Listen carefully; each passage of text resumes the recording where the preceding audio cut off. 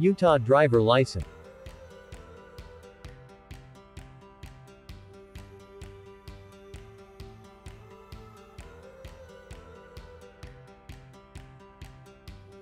Requirements to obtain a driver's license in Utah. If you are 16 years old and want to apply for a valid Utah driver license, you must do the following.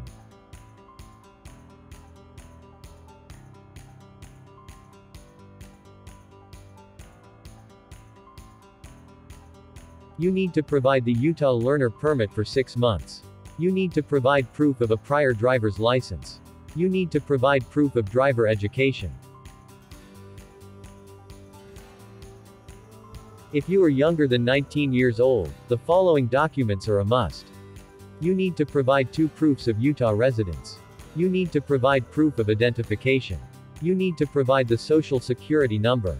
You need to provide legal lawful presence.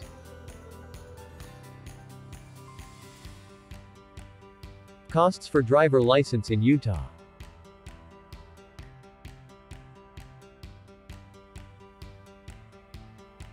Class D license. Total payment is $52.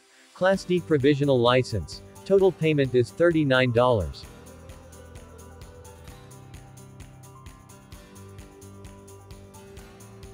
Original motorcycle endorsement. Total payment is $18.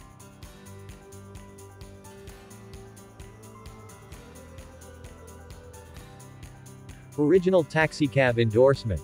Total payment is $14. Lapstore Renewal Class D. Total payment is $52. Lapstore Renewal Class D Provisional. Total payment is $52. Class D for 65 years old and older total payment is $27.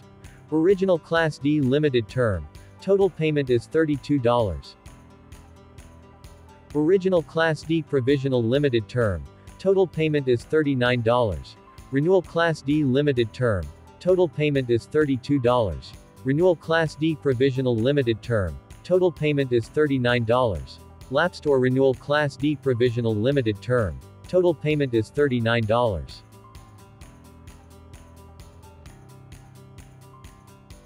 You have to follow these steps. You need to fill the application and take it with you. Then you must make an appointment for the visit. You must have your photo taken. You need to pass the eye vision test. You need to provide your current Utah driver's license. You need to provide two documents of your new residence address in Utah. You need to pay the non-refundable fee, which is $52.